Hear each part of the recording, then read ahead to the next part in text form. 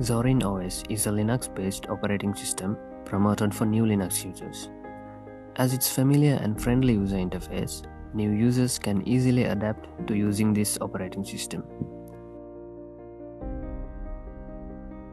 As you can see, the taskbar is similar to that of Windows, which has the system info tray on the right side and the apps on the left side with a traditional start menu.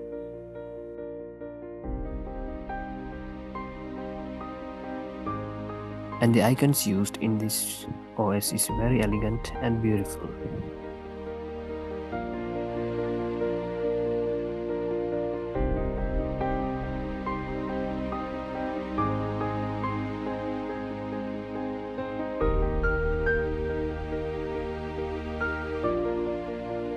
Firefox is the default browser installed.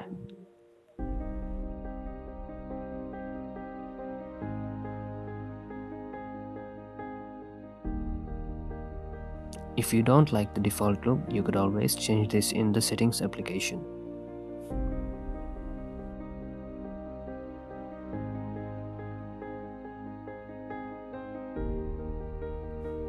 The third option aligns the icons to the center and enables the full screen app